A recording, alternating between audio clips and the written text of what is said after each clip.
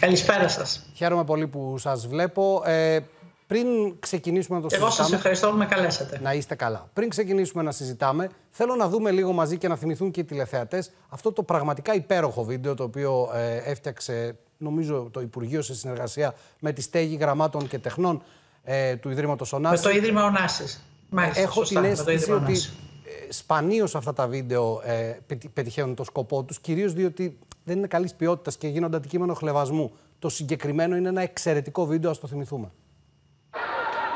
Ακόμα ένα περιστατικό άγριο μπούλινγκ σημειώθηκε χθες βράδυ όταν παρέα τεσσάρων μαθητών χτύπησε βία μαθητή του σε κεντρικό δρόμο απέναντι από το σχολείο τους την ώρα μάλιστα που αρκετά καταστήματα... Είδες εσύ τίποτα; Εγώ; Όχι, δεν είδα κάτι. Οι 15χρονοι αποέριξαν στο έδαφος... Τι κάνεις ρε! Πώς καλά! Έλα, δεν μπορώ κάθε μέρα, τελείωνε! Τι θα κάνεις, θα κλάψεις μικρέ, θα κλάψεις. Έλα, έλα. Έλα, τελείωνε! Τι, τι, τι, τι θες, η μητέρα σου, η μανούλα σου. Κοίτα το μικρό, τελείωνε! η μανούλα σου διάλεγε. Καλά και εδώ. Ναι, τι κάνεις ρε Πάσο, πας καλά! Ρε, τι θέλεις Πας καλά, νομίζεις θα δεις.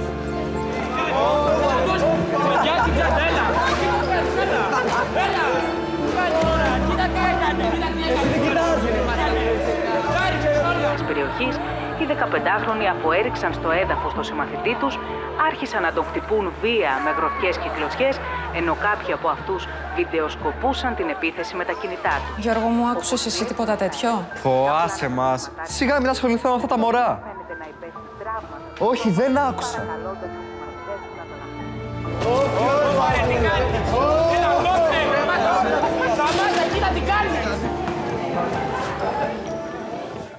Λοιπόν, πραγματικά είναι ένα σοκαριστικό βίντεο. Είναι σκληρό, αλλά και πραγματικό στην, ε, στη βάση του. Αυτά τα πράγματα συμβαίνουν. Συνέβαιναν πάντα, έχω την αίσθηση, αλλά με διαφορετική ένταση. Και θέλω να σας ρωτήσω το εξής, κυρία Μακρύ. Πιστεύετε ότι με τα μέτρα, τα οποία κατά κύριο λόγο έχουν καταγραφεί και μια μακροπρόθεσμη, ας πούμε, έτσι, θεώρηση αντιμετώπισης, μπορεί να λυθεί το πρόβλημα.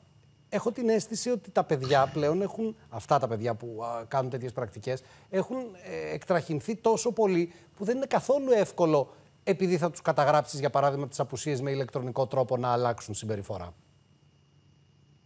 Καταρχάς, κύριε Ζαχάρη, να σας πω ότι χαίρομαι που συμφωνούμε ότι ήταν ένα πολύ καλό βίντεο. Το χαρακτηρίσατε κι εσείς και εγώ θα το πω εξαιρετικό. Εξαιρετικό στην αρνητική βεβαίως διάσταση την οποία παρουσιάζει και το Ίδρυμα Ωνάση συνέβαλε πολύ σε αυτό. Δεύτερον, χαίρομαι πάρα πολύ που συμφωνούμε και στη διαπίστωση ότι υπάρχει ένταση τώρα στα φαινόμενα. Δεν είναι ο αριθμός που αυξήθηκε, κύριε Ζαχαρή, είναι η ένταση, είναι η σκληρότητα, είναι η ευρηματικότητα των παιδιών. Πιστεύουμε ότι τα παιδιά με τη σωστή προληπτική εκπαιδευτική διαδικασία, με τη σωστή εκπαιδευτική μέρημνα που θα προλαμβάνει, θα ανοιχνεύει τέτοιες συμπεριφορές, θα προστατευτούν, θα αυτοπροστατευτούν και θα προστατεύσουν. Και πιστεύουμε επίσης ότι οι συνέπειες τέτοιων παραβατικών πράξεων ναι, θα λειτουργήσουν αποτρεπτικά. Δεν έχει να κάνει με το αν ο αριθμός των απουσιών καταχωρίζεται ηλεκτρονικά. Αυτό είναι μια διευκόλυνση στη γραφειοκρατία των εκπαιδευτικών και στη δική τους ε, καθημερινότητα η αισιοδοξία μου νομίζω ότι είναι βάσιμη γιατί εγώ πιστεύω και αν θέλετε μπορούμε και να το συζητήσουμε αυτό ότι και οι εκπαιδευτικοί που τα ζήτησαν αυτά τα εργαλεία θα βοηθήσουν σε αυτή την προσπάθεια. Το πιστεύετε αυτό και θέλω να σας θέσω υπόψη το εξής. Όταν ήμουν εγώ ναι. μαθητής, το πάλε ποτέ δηλαδή, ε, υπήρχαν, ε, στο σχολείο μου θυμάμαι δηλαδή, θυμάμαι και, θυμάμαι και ακριβώς και το όνομά του ανθρώπου, ένας, ένα παιδί το οποίο συνεχώς πήγαινε σε κυρίως πιο αδύναμους ε, σωματικά ε, ε, συμμαθητές και τους ασκούσε bullying. Ξέρετε ποιο ήταν το αποτέλεσμα; Τη δεύτερη φορά που το έκανε, αποβλήθηκε συνολικά από τα σχολεία της περιοχής. Οι γονείς του το, τους είχαν φωνάξει από την πρώτη μέρα. Οι καθηγητές ήταν εξαιρετικά αυστηροί. Θυμάμαι δε και δεν ξέρω πόσο παιδαγωγική ήταν αυτή η μέθοδος. Θυμάμαι καθηγητή, ο οποίος μπροστά σε όλο το σχολείο του είχε ρίξει χαστούκι. Αυτά συνέβαιναν παλιά. Μάλλον αντιπαιδαγωγικά θα τα χαρακτήριζε κανείς με τα δεδομένα τα σημερινά. Το να ρίξεις χαστούκι σε ένα παιδί μπροστά σε 300 άτομα, σίγουρα παιδαγωγικό δεν το λες. Παρ' όλα αυτά, πρόβλημα bullying μετά δεν υπήρχε, γιατί και άλλοι επίδοξοι φοβηθήκαν να το ξανακάνουν. Το παιδί αυτό απομακρύνθηκε και γενικώ έχω την αίσθηση ότι παλιά υπήρχε μια αίσθηση και σεβασμού και ιεραρχίας στο σχολείο, την οποία παρατηρώ τα τελευταία χρόνια ότι δεν έχουμε καθόλου. Καταρχάς, να ξεκαθαρίσουμε σε αυτό που είπατε ότι όντως είναι αντιπαιδαγωγικό να χαστούκίσει ένα παιδί πολύ περισσότερο όταν το κάνει μπροστά στους άλλους τους συμμαθητές του. Παρ' όλα αυτά, να συμφωνήσω ότι ναι, όταν υπάρχουν συνέπειες και για τους υπόλοιπους λειτουργούν αποτρεπτικά και είναι επιβεβλημένο να αντιληφθούν τα παιδιά μας, γιατί θα ακολουθήσει και η εφηβική ζωή τους, θα ακολουθήσει και η ενήλικη ζωή τους. Πρέπει να έχουν κανόνες και να γνωρίζουν τι μπορούν να κάνουν και τι δεν μπορούν να κάνουν. Μας καταγγείλαν τις τελευταίες μέρες.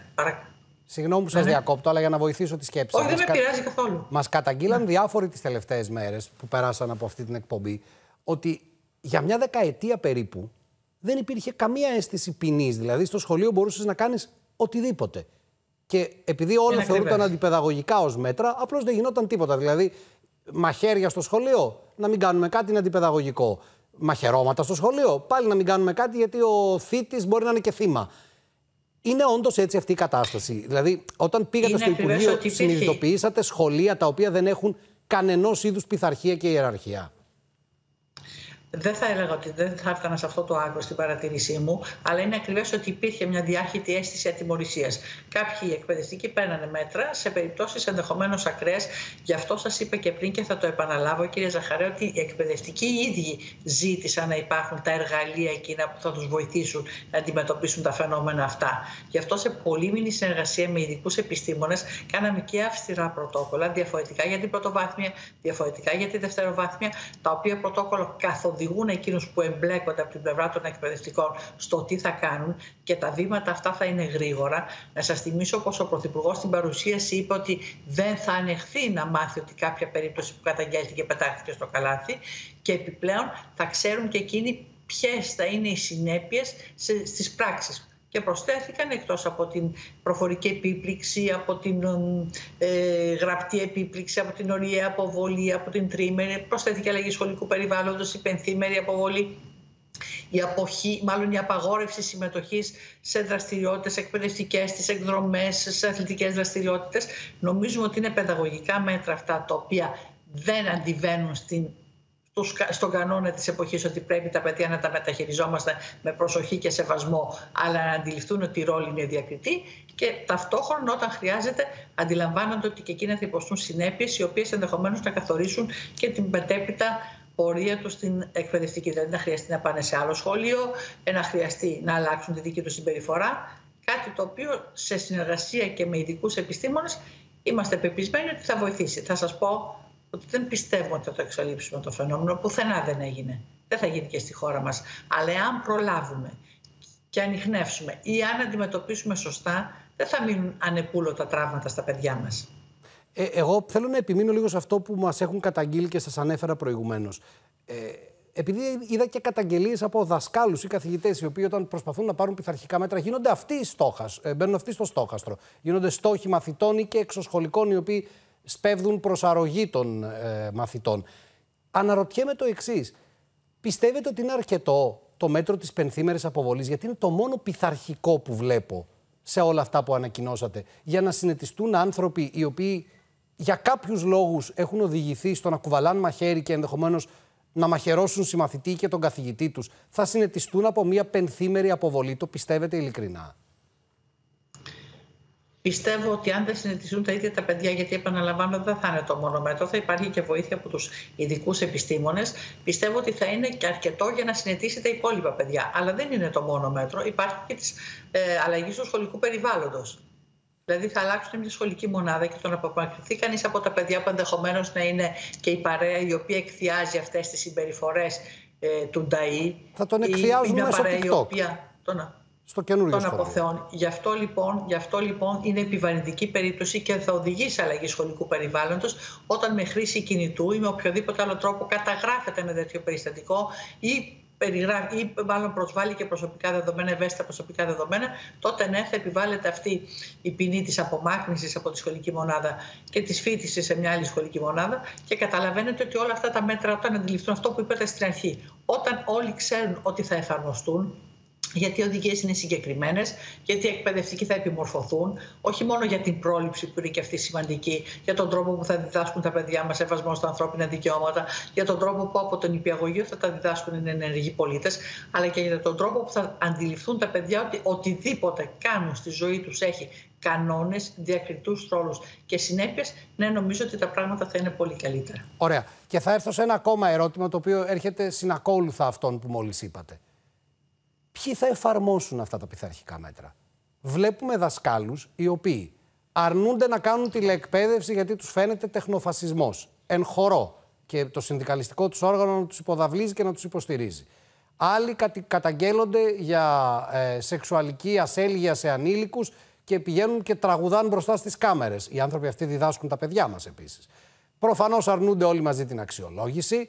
Προφανώς διδάσκουν κατά καιρούς και έχουμε δει τέρατα να διδάσκονται στα δημόσια σχολεία από πρωτοβουλία ε, αυθόρμητη κάποιου εκπαιδευτικού. Πιστεύετε ότι όλοι αυτοί οι εκπαιδευτικοί θα εφαρμόσουν τα μέτρα, σαν να τους ακούω είναι και να λένε ότι εγώ δεν είμαι αστυνομικός να εφαρμόζω τον νόμο και να παίρνω το κινητό. Σαν να ακούτε κάποιους από αυτούς. Γι' αυτό θα σας πω ότι στα μέτρα τα οποία είναι πιο Αυτοί φωνάζουν πιο πολύ, μάλλον, κυρία Μακρύ, γι' αυτό. Ενδεχομένως. Ενδεχομένως. Ε, δεν, δεν εφαρμόζονται από ένα μονοπρόσωπο όργανο. Θα είναι δηλαδή περισσότεροι εκείνοι που θα επιβάλλουν τα μέτρα και θα συμμετέχουν και εκπρόσωποι των μαθητών. Αυτό σημαίνει ότι το πολυπρόσωπο όργανο δύσκολα θα αποφασίσει να μην τιμωρήσει μια συμπεριφορά όπως αυτές που περιγράψαμε. Και βεβαίως υπάρχουν εκπαιδευτικοί σαν αυτόν που αναφέρατε που τραγουδάει παρότι κατηγορείται για μια πολύ σοβαρή πράξη. Ο οποίος η εν παρόδο, μιας και σας έχω εδώ, πείτε μου, θα συνεχίσει να διδάσκει παιδιά; Προφανώς και όχι. Να σας πω ούτως ή άλλως του είχε απαγορευτεί η είσοδος στη σχολική αίθουσα και παρά την απαγόρευση εισέβαλε στην αίθουσα και κατηγορείται ότι έκανε αυτή την πράξη για την οποία τώρα ελέγχεται και ποινικά. Ε, υπάρχουν λοιπόν οι εκπαιδευτικοί οι οποίοι ζήτησαν αυτά τα εργαλεία και σε απάντηση του εκπαιδευτικού που μου αναφέρετε, θα σας πω ότι σε μια επίσκεψή μου στη Θράκη, σε ένα πολύ μικρό χωριό, ήταν δύο εκπαιδευτικοί αναπληρωτές, νομίζω ήταν και από τη Θεσσαλία, οι οποίοι με δική τους πρωτοβουλία το βράδυ τα παιδιά του σχολείου τα παίρναν και τα διδάσκαν, τα βοηθούσαν, τους κάνανε δηλαδή ενισχυτική διδασκαλία, χωρίς να αμείβονται γι' αυτό και να στερούνται τον ελεύθερο χρόνο. Η συντριπτική πλειοψηφία των εκπαιδευτικών, κύριε Ζαχαρή, είναι αυτοί που κάναν αξιολόγηση, αγγίζουν το 90%.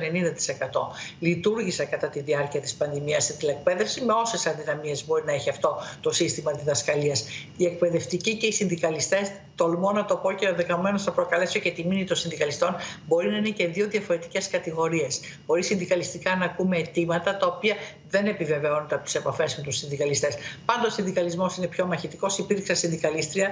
Ε, το δικαιολογώ, το εξηγώ, εν πάση το, το, το ξέρω ότι είναι έτσι. Δεν σημαίνει ότι το σύνολο των εκπαιδευτικών θέλει αυτή την κατάσταση. Να φοβάται κάποιες φορές να πηγαίνει στο σχολείο. Θα θυμάστε μια επιστολή εκπαιδευτικού αναπληρωτή, ο οποίος ήταν σε ένα νησί του Ιωνίου. Βεβαίως. Εγώ αυτή την επιστολή, κύριε, Κατσαρέτο, ε, κύριε Ζαχαρέτο, εξομολογούμε πρώτη φορά δημόσια. Δεν κατάφερα να τη διαβάσω ολόκληρη. Ναι, ναι, ήταν τραγική η περιγραφή του ανθρώπου. Δεν θέλω ούτε να αναφέρω πραγματικά ναι. για όσα πραγματικά του συνέβαιναν. Άρα λοιπόν θέλουν και εκείνοι κανόνες, κανόνες παιδαγωγικούς που οι ειδικοί επιστήμονες τους υποδεικνύουν, που θα τους εφαρμόσουν και εκείνοι με την ευαισθησία και την επάρκεια που έχουν και με την επιμόρφωση που θα τους δώσει το Υπουργείο. Ωραία. το ΙΕΠ ετοιμάζει εκπαιδευτικά. Έχω ένα τελευταίο ερώτημα και στη συνέχεια θα συνδεθούμε με την κυρία Φάλια Αντωνιάδου, που είναι πρόεδρος του Συλλόγου Γονέων και Κηδεμόνου του 4ου Δημοτικού Σχολείου Κεσαριανή. Γιατί χρήσιμα είναι να τα λέω εγώ που παρακολουθώ το ρεπορτάζ του Υπουργείου σας. Χρήσιμα είναι να τα λέτε εσείς που είστε υπουργός στο συγκεκριμένο Υπουργείο. Καλύτερα όμως να ακούσουμε αυτούς οι οποίοι πραγματικά ζουν καθημερινά το πρόβλημα. Α μας θέσει μερικά ερωτήματα που ελπίζω να μπορούμε να δώσουμε και απαντήσεις. Θέλω όμως να σας ρωτήσω κάτι ακόμα. Ακούω εδώ και 30 χρόνια, 40 χρόνια, σίγουρα 30, ότι πιλωτικά σε κάποιο σχολείο θα πάει, ξέρω εγώ, ψυχολόγος ή κοινωνικός λειτουργός.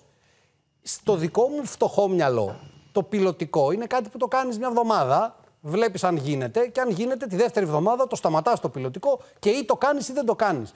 Γιατί μείναμε στο πιλωτικό όλα αυτά τα χρόνια; Ε, δεν ξέρω για τα προηγούμενα χρόνια, να πούμε για τα τελευταία, γιατί τώρα έχει αξία. Διπλασιάστηκαν και οι ψυχολόγοι και οι κοινωνικοί λειτουργοί. Αγγίζουν τους 4.000.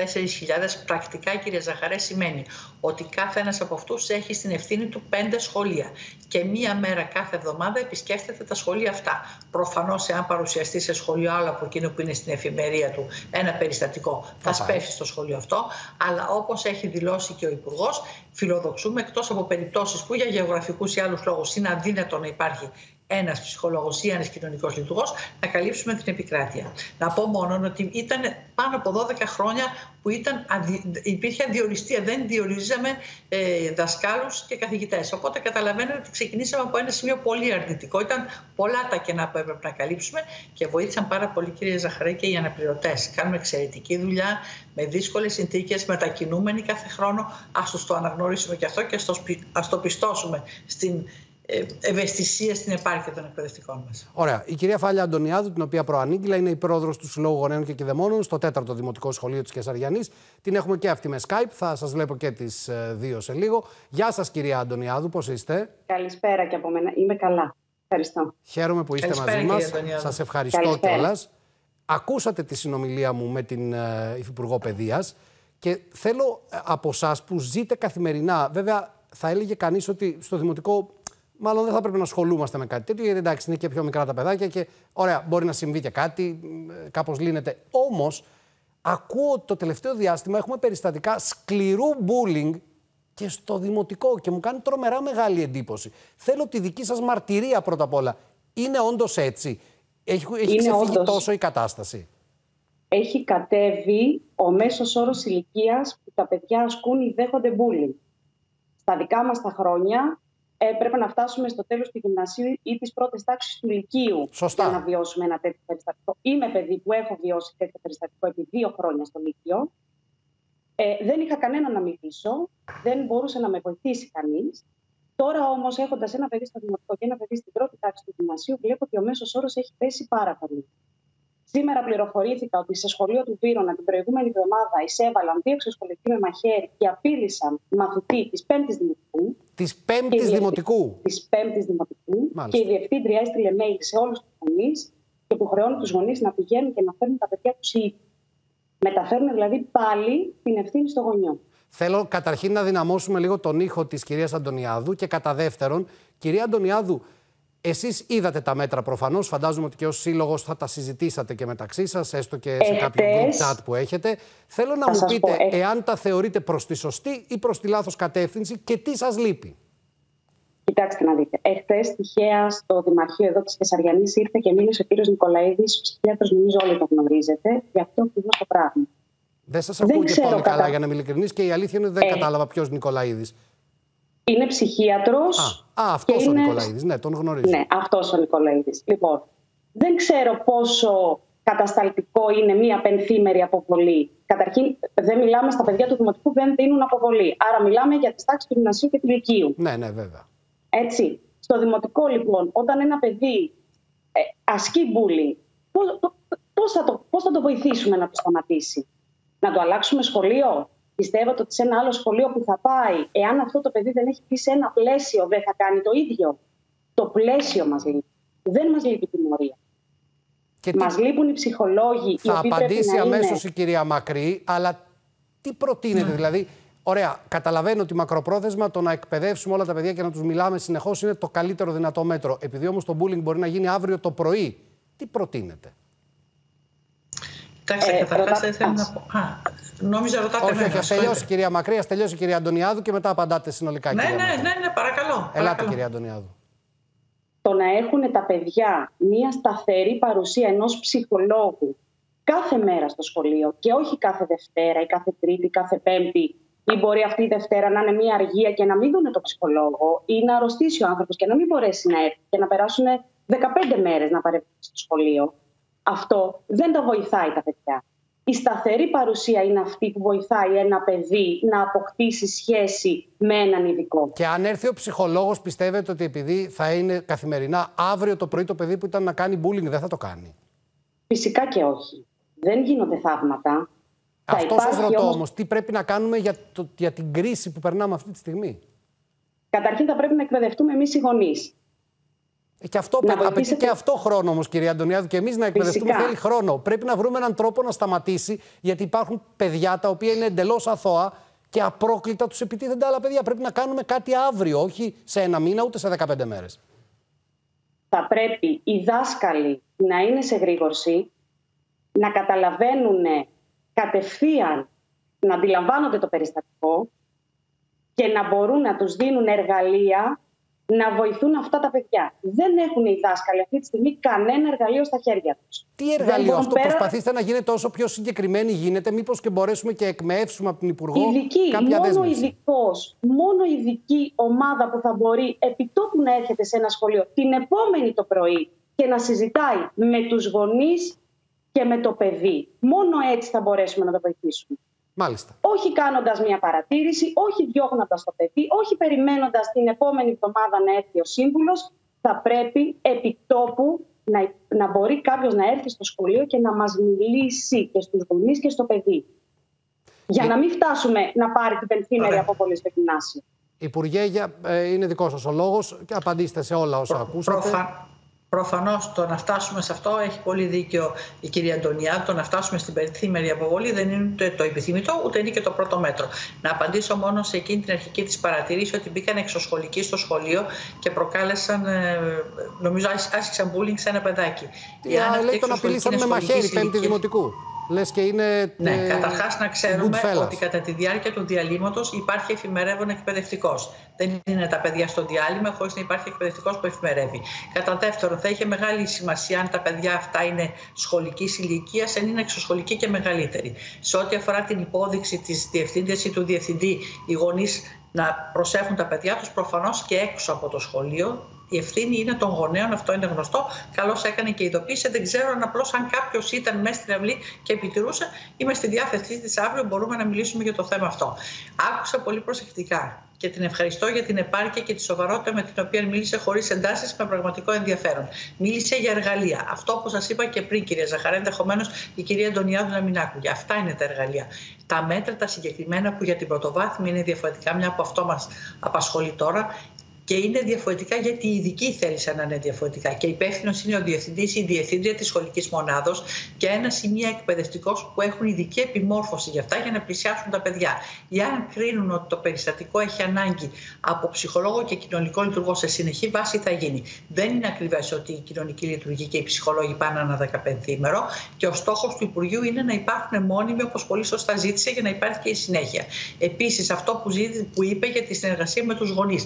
Είναι και αυτό μέσα στο πρωτόκολλο. Καλούνται και οι γονείς του παιδιού που ήταν θήτης, καλούνται και οι γονείς του παιδιού που ήταν θύμα. Όχι ταυτόχρονα βεβαίως. Καλά, Γιατί και το προφανώς, παιδί αυτό θήτης σε αυτή την τρυφερή ηλικία, κυρία Αντωνιάδου, νομίζω θα συμφωνήσουμε. Στη συστημητέρα, εγώ είμαι και γιαγιά. Σε αυτή την τρυφερή ηλικία, ένα παιδί όταν γίνεται θήτης, κάτι σημαίνει ότι κάποιο πρόβλημα έχει και εκείνο και πρέπει η προστασία της πολιτείας να επεκταθεί και σε αυτό. Επίσης, εμπλέκονται και τα παιδιά θεατές. Γιατί το είδαμε και στο βίντεο και στην ψυχή αυτών των παιδιών κάτι μένει που ή συμμετέχουν αδιάφορα γιατί δεν φοβούνται να κάνουν κάτι άλλο. Επιπλέον η πλατφόρμα δίνει τη δυνατότητα επώνυμης καταγγελίας μεν, αλλά με ιδιωτικότητα, με, δια, με, ιδιωτι, με, ε, πώς το λένε, με διακριτικότητα και με εχεμήθεια, να μην φοβούνται τα παιδιά αντίπεινα. Και με αυτόν τον τρόπο και Έλα, παρακαλώ γνωστοποιούνται τα θέματα και μας επιτρέπεται και εμάς μετά σε μια επταμελή επιτροπή που έχει στο Υπουργείο να τα λαμβάνουμε όλα αυτά τα στοιχεία, να τα επεξεργαζόμαστε. Γιατί κύριε Ζαχαρέ, όπως τώρα παίρνουμε πρόσθετα μέτρα περισσότερα από αυτά που πήραμε την προηγούμενη τετραετία, κάποια στιγμή θα χρειαστεί να πάρουμε και άλλα, γιατί είναι ένα φαινόμενο δυναμικό που δυστυχώς εξελίσσεται. Θέλω πριν κλείσω και με τις δυο σας και να σας ευχαριστήσω πάρα πολύ, θέλω να κάνω μια ακόμα ερώτηση, την οποία θέλω να ακούσει την απάντηση, κυρία Αντωνιάδου. Κυρία Μακρύ, ναι. Ε, γνωρίζοντας το περιστατικό, προφανώς γνωρίζετε και τους ανθρώπους εσείς, γιατί είστε από το Βόλο. Θυμίζω ένα περιστατικό ναι, που οι γονείς είχαν πάει στη διευθύντρια, της είπαν ότι ασκείται bullying στο μικρό τους παιδάκι, το οποίο ήταν δημοτικού, μικρές τάξεις, και η διευθύντρια απλώς αδιαφόρησε και το αποσιώπησε. Θέλω να το πείτε για να ακουστεί καθαρά και να το ακούσει και η κυρία Αντωνιάδου, τι οφείλει να κάνει ένας εκπαιδευτικός. Πάω εγώ που το παιδί μου έχει πέσει θύμα bullying, στην ε, κυρία Αντωνιάδου που είναι η διευθύντρια και της λέω: Κυρία Αντωνιάδου, το παιδί μου έπεσε θύμα bullying. Τι οφείλει να κάνει; Την ίδια στιγμή οφείλει, εφόσον το περιστατικό έχει καταγγελθεί, να συνεργαστεί με τον άλλον εκπαιδευτικό που είναι και εκείνος επιμορφωμένος. Γι' αυτό είπαμε να μην είναι ένα μονοπρόσωπο όργανο που ενδεχομένως να διαφορήσει. Να φωνάξει το παιδί, να συζητήσει με το παιδί. Ή αν κρυθεί σκόπιμο που συνήθως κρίνεται. Να το δούνε και οι ειδικοί. Να καλέσει και το γονιό να συζητήσει μαζί του, να καλέσει το παιδί θήτη, να καλέσει τους γονείς του παιδιού. Είναι μια διαδικασία πολύ συγκεκριμένη και σας βεβαιώ και γρήγορη και ενημερώνονται οι γονείς για αυτή, αλλά είναι και πολύ συγκεκριμένη για να μην υπάρχει ανασφάλεια ότι κάποιος θα εφτανελγήσει. Και αν δεν Στο το κάνει... περιστατικό που αναφέρεται, προφανώς και υπάρχουν πειθαρχικές κυρώσεις. Δεν είναι η εκπαιδευτική ανεξέλεγκτη στη δουλειά τους. Είναι μια, ένα από τα καθήκοντα τα οποία πιστέψτε με τα ασκούν με επάρκεια. Η Στο κυρία στο περιστατικό που Βόλο, η αναφέρεται- διευθύντρια στο Βόλο δηλαδή, έχει φύγει από τη δουλειά της. Εκεί θα ερχόμουν. Εκεί θα ερχόμουν. Γίνεται ήδη έρευνα και θέλω να σας πω ότι δεν είναι η πρώτη φορά που το παιδί αυτό έχει πέσει θύμα bullying. Το ξέρω, έχω πρωτογενή ενημέρωση και προφανώς από την εξέταση αυτή θα αποδειχθεί και εάν οι εφημερεύοντες, οι επιτηρούντες, οι συμμετέχοντες στην εκδρομή εκπαιδευτική όντως επιτηρούσαν. Γιατί το περιστατικό έγινε στις 3 η ώρα Σωστά. το πρωί. Σωστά. Τρεις η ώρα το πρωί. Και όταν δεν έγινε από συγκατοίκους του παιδιού, σημαίνει ότι υπήρχε μια κινητικότητα που διέφυγε της προσοχής των εκπαιδευτικών. Άρα λοιπόν, μόλις ολοκληρωθεί η διοικητική εξέταση, η οποία σας βεβαιώ ότι δεν θα εξαντλήσει το χρόνο των 30 Αναφέρεστε σε ημερών που καινούριο χρειάζεται. περιστατικό σε αυτό που έγινε με τη σεξουαλική κακοποίηση. Όχι, Εγώ αναφέρομαι σε ένα αναφέρομαι- παλιότερο, αλλά είναι τόσα πολλά που δεν παίζει Ποιο ρόλο. λέτε, πείτε μου να σας, να σας Η πω και για απάντηση εκείνο, είναι να η σας πω ίδια. αν είναι κάποιο. Η διευθύντρια που Ναι, η είχε απάντηση είναι η ίδια και οι αδιαφορήσει μέθοδες. στις καταγγελίες των γονιών βρίσκεται στο σχολείο ή έχει φύγει; Εάν ρωτάτε για το παιδί με την τρίλιζα, Ναι, με το παιδί με την Λέτε για τρίλιζα. αυτό το ακριβώς. περιστατικό. Λυπάμαι που Δεν το λέμε συνέβη έτσι ποτέ, και κύριε πραγματικά Ζαχαρέ. είναι Κύριε χιδαίο να Ζαχαρέ, αναφερόμαστε σε δεν περιστατικά συνέβη- έτσι, αλλά Δεν συνέβη ποτέ. Δεν συνέβη ποτέ. Επισκέφθηκα το σχολείο, είδα το χώρο στον οποίο καταγγέλθηκε ότι έγινε το περιστατικό. Είναι ένας χώρος ο οποίος ήταν προσβάσιμος όχι μόνο στα παιδιά του υπόλοιπου σχολείου, δεν υπήρχε περιθώριο να κρυφτεί κανείς. Σε εκείνους που περνούσαν από το δρόμο, σε εκείνους που μέναν σε γειτονικά διαμερίσματα, δεν συνέβη ποτέ. θέλω και τις δύο να σας ευχαριστήσω πάρα πολύ. Μπορώ- Αν θέλετε να πείτε μπορώ κάτι, να κυρία κάνω- Αντωνιάδου, βεβαίως. Ναι, ναι. Ε, θα ήθελα να ζητήσω το εξής. Βοηθήστε λίγο τους εκπαιδευτικούς. Βοηθήστε, το, βοηθήστε τους με νομικούς. Αυτή τη στιγμή θέλουν να κάνουν καταγγελίες. Θέλουν να ψάχνουν στήριξη και πρέπει το δικηγόρο να τον πληρώσουν από την τσέπη τους. Και σταματάει Όπως όλοι οι οποιαδήποτε- Έλληνες πολίτες, κυρία Αντωνιάδου. ναι, αλλά όταν σου Θα πω όμως συμβεί κάτι μέσα στη άλλο. δουλειά σου και απειλούνται τα παιδιά, μπαίνει κάποιος και απειλεί 320 παιδιά μέσα σε γυμνάσιο, φτάνουμε στο τμήμα και η διευθύντρια δεν συνεχίζει την καταγγελία γιατί δεν έχει οικονομικά να στηρίξει Μάλιστα. μια τέτοια διαδικασία. Θα μπορούσε το Πολύ, Υπουργείο πολύ σύντομα να θα παρέχει. απαντήσω, κυρία Αντωνιάδου. Επειδή, Πολύ επειδή σύντομα σε όμως, συνεννόηση κυρία και με τι οδηγίε του Υπουργού έχω κάνει συνάντηση με το Υπουργείο Δικαιοσύνης για το θέμα αυτό, σας βεβαιώ ότι θα ληφθούν πρόνοιες για εκείνους που κατά την άσκηση των καθηκόντων τους υφίστανται αντικαιολόγητε διώξεις. Είναι κάτι πολύ σημαντικό και θα πω και μόνο αυτό, αν έχω το χρόνο, κύριε ναι, και Ζαχαρέ. να κλείσουμε μετά Ξέρετε από τι είπε ο εκπαιδευτικός που συμμετείχε στην παρουσίαση. Όταν έχουμε τη συνεργασία των γονέων, και η κυρία Αντωνιάδη είμαι σίγουρη θα το κατανοήσει αυτό, τα προβλήματα λύνονται γρηγορότερα, καλύτερα και σχεδόν ανέμακτα. Είναι πραγματικά αυτό που πρέπει να κάνουμε. Σας ευχαριστώ και τις δύο. Θα συνεχίσουμε εδώ να παρακολουθούμε Ευχαριστώ το θέμα εγώ. του bullying.